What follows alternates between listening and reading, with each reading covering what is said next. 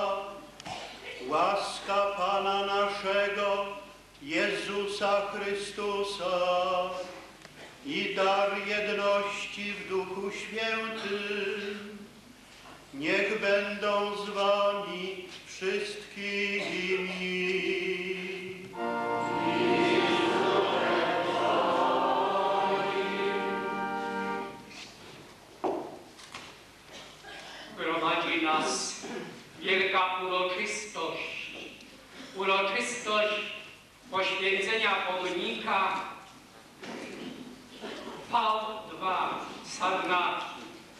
I dlatego w świątyni mam zaszczyt na początku powitać wszystkich dostojnych gości.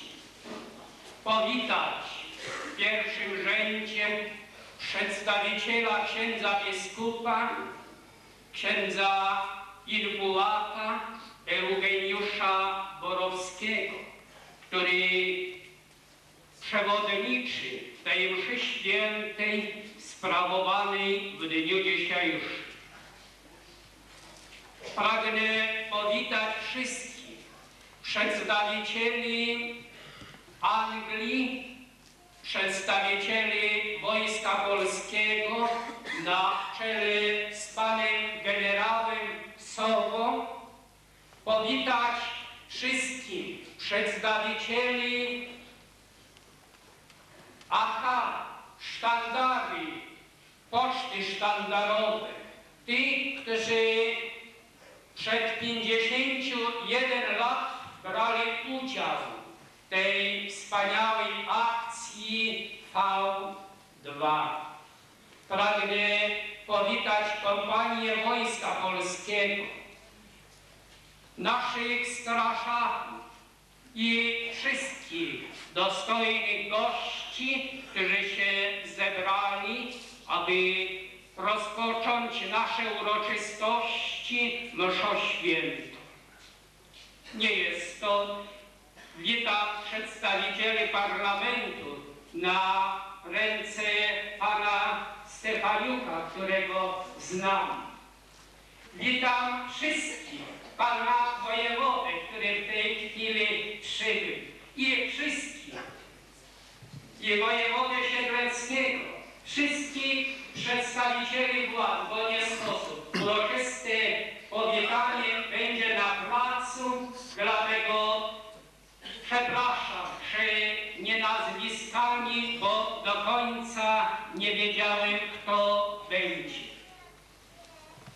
Niech nie będzie tylko to zwyczaj, że dzisiaj uroczystości państwowe rozpoczynamy od mszy świętej, ale niech to będzie ukazanie wielkiej prawdy, że wszystko chcemy w naszej ojczyźnie przeżywać zgodnie z naszą tradycją narodową. Historia magistra Witek. Dlatego warto spojrzeć, co się dokonywało w naszym polskim narodzie. Wtedy, gdy on się organizował, to pierwszy władca historyczny, Mieszko I, zawiera jak gdyby konkordat ze stolicą apostolską przez pośrednictwo biskupów czeskich i oddaje ojczyznę opiekę stolicy apostolskiej, a zobowiązuje się, że prawo Boże w tym narodzie, a raczej jeszcze w tych narodach wtedy będzie przestrzegane. Nie można pominąć tego momentu, kiedy Władysław Łokietek rozdzielono jednoczy Polskę. To słynne jego spotkanie z Matką Bożą w Wiślicach, gdy modlił się, słyszy słowa zaufaj, powstań i zwyciężysz. I zaufał. I przez przy pomocy Stolicy Apostolskiej w 1320 roku koronuje się i Polskę rozbito, podzielono, jednoczy. Ale przy obecności Stolicy Apostolskiej, przy obecności Boga. I znamienne słowa. Bóg, honor i ojczyzna. Bóg, wiara, która jest fundamentem życia. Honor, poczucie swojej godności i poszanowanie godności drugiego.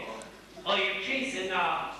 To jak woła Maria Konopnicka, to ta ziemia droga, gdzie ujrzał słońce i gdzie poznał Boga, gdzie ojciec, bracia i w Polstwa. W tej intencji módlmy się w czasie tej mszy świętej i w takim duchu religijno-narodowym przeżywajmy dzisiejszą uroczystość.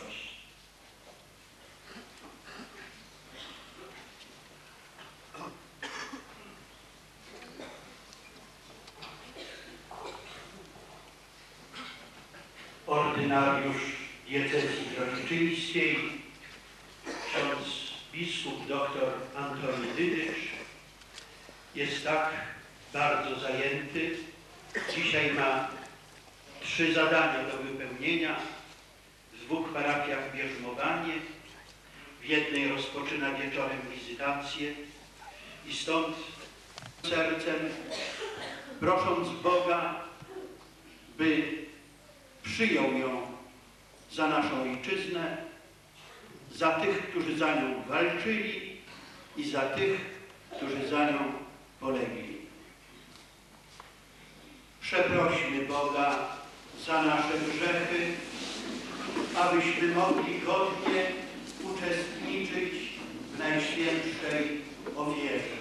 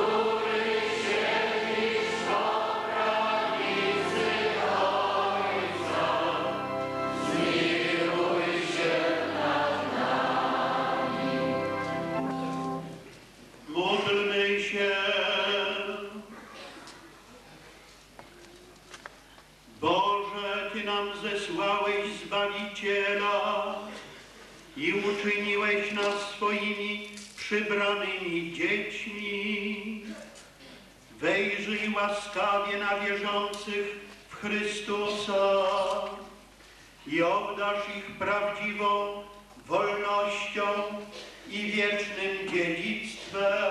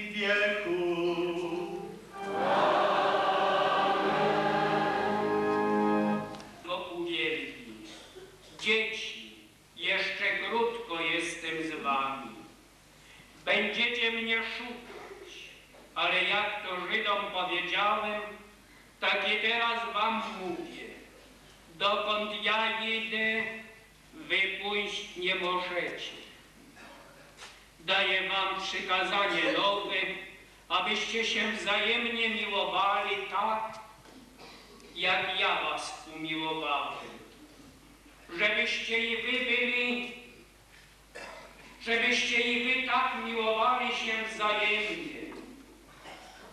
Potem wszyscy poznają, żeście uczniami moimi, jeżeli będziecie się wzajemnie miłowali.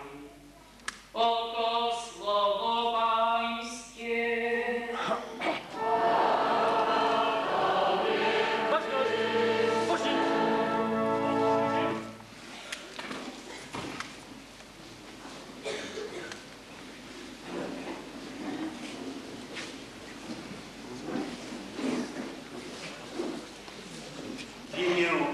Ojca i Syna i Ducha Świętego.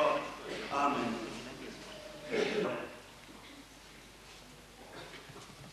Kombatanci, młodzieży, umiłowani w Chrystusie Panu. W uroczystość upamiętniającą działalność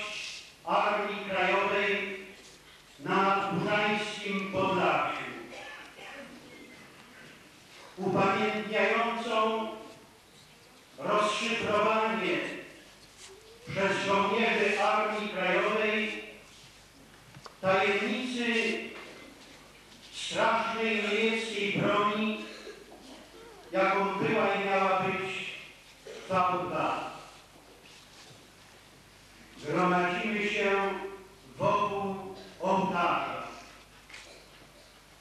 I to ma najgłębszy sens. Bo tak jak w za chwilę kapłan do kielicha z winem wpuści kropelkę wody, która roztopi się wreszcie wina i w czasie konsekracji stanie się kroplą Chrystusowej krwi.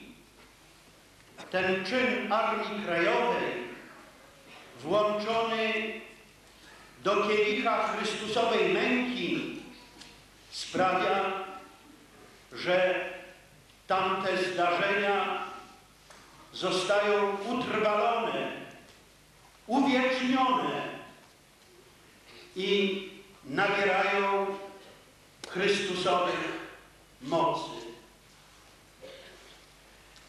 Słyszeliśmy przed chwilą Ewangelię, w której Chrystus mówi Nowe przykazanie daję wam, abyście się wzajemnie miłowali tak, jak ja was umiłowałem. Dla nich bliźnim był tylko ten, kto należał do żydowskiego narodu. Inni to byli goje. Ale przede wszystkim z tego powodu, że tam miarą miłości było to, jak kocham siebie. Więc jeśli ktoś dla drugiego był tak dobry, jak dla siebie, osiągał szczyt. Chrystus idzie dalej. Nowe przykazanie daje wam, abyście się tak miłowali, jak ja was umiłowałem. A On nas, Boga kochanego, Ojczyznę, Kościół stawia się wyżej niż samego siebie. I gdy przyjdzie potrzeba, tak jak to robili męczennicy i bohaterowie, bez mrugnięcia okiem oddawali za te osoby i te wartości życie. Kochać ponad siebie. Uważać, że raczej ja mogę krzywdę ponieść, niż wyrządzić ją temu, kogo kocham, czy tej ojczyźnie, którą miłuję. Kochać to służyć, to poświęcać się. Przykład takiej miłości daje każda dobra matka i taką miłością otaczała nas i otacza Matka Ojczyzna. I dlatego biskup poeta pisał tak, Ignacy Krasicki oczywiście, święta miłości kochanej Ojczyzny. Czują Cię tylko umysły poczciwe. Dla Ciebie zjadłe smakują trucizny, dla Ciebie więzy, pęta niezężywe. Kształcisz kalectwo przez chwalebne blizny. Gnieździsz w umyśle rozkosze prawdziwe, ale również polskie tradycje, bo ojczyzna jest przede wszystkim w sercu każdego człowieka. I dlatego tak jak trzeba kochać ojca i matkę, kochać trzeba matkę ojczyznę. Ale teologowie ostatnich dni zauważyli, że jest jeszcze inna i teologicznie głębsza przesłanka miłości naszej ojczyzny Polski. Przesłanka wywodząca się z przykazania będziesz miłował Pana Boga swego z całego serca, ze wszystkich myśli, z całej duszy swojej. ponieważ dzieje ojczyzny i dzieje Kościoła na polskiej ziemi są ze sobą tak sprzężone, że historia Kościoła i historia Polski są na tych ziemiach jednolatkami. Jakby z mlekiem matki wysysa także wiarę w trójjedynego Boga, miłość do Chrystusa, Matki Najświętszej. Od dzieciństwa zna dziesięć Bożych przykazań, a Kościół jest dla niego rodzinnym domem spotkań z Najwyższym. Taka sytuacja sprawia, że nasz stosunek do ojczyzny jest taki w jakimś sensie jak do darów Bożych, bo to przez tradycję, przez kulturę polską, bez żadnej zasługi z naszej strony, weszliśmy do rodziny chrześcijańskich narodów. W oczach i mówi, witam pana komendanta. A ten przerażony, jestem zdekonspirowany. Znają mnie tu ludzie. Oczywiście, skąd znasz mnie, kobieto? Tu wszyscy wiedzą, że pan dowodzi grupą partyzancką. I pan pewno chce się spotkać z Zenonem. Ale pan przyszedł do wsi Klimczyca, on jest w kolonii Klimczyce. Czeka na pana. Czy ta kobieta była w partyzantce? Czy ona walczyła o wolność? Walczyła. Po swojemu. Jak mówiła, żegnając się z nim, modlę się za wami i sercem jestem z wami. I taka była ta część nadgórzańskiego Podlasia. Tu właściwie każdy na jakiś możliwy dla siebie sposób walczył o Polskę wolną i niepodległą. Pierwsze wiadomości o zainstalowaniu tutaj poligonu dla rozrywających się pocisków V2 dotarły do Londynu przez wywiad Armii Krajowej już w zimie 1943 roku. O tym zamiarze dowiedział się głęboko zakonspirowany Józef Kisiel, kierownik browaru, tutaj w Sarnakach o pseudonimie Karol Pług. Natychmiast powiadomiono centralę i przyszedł rozkaz pilnowania, co to będzie. Potem od pijanych oficerów Wehrmachtu dowiadywał się kolejnych szczegółów, a jeden z podoficerów, być może nie Niemiec, tylko Austriak, któremu na Niemcach nie bardzo zależało, po pijanemu, czy może nie całkiem po pijanemu, narysował szkic rakiety V2, podając nawet nazwy części i co się w nich znajduje. Już na drugi dzień ten meldunek był w Warszawie i potem dotarł do Londynu. A potem, kiedy przyszły wojska niemieckie w oddziale 400 osób i otoczyły ten niewielki stosunkowo kwadrat, na który miały spadać niemieckie pociski 250 kilometrów stąd wystrzeliwane, testowano ich celność i różne sposoby wybuchania. Wtedy nie tylko partyzanci, nie tylko żołnierze Armii Krajowej, ale kto żyw i zdrów, kto mówił po polsku, każdy po pierwszym wybuchu, drugim, następnych zbierał te fragmenty, przynosił do ogni w Armii Krajowej, bo to się może przydać, bo to może pomóc w rozszyfrowaniu tej strasznej broni. A straszna była.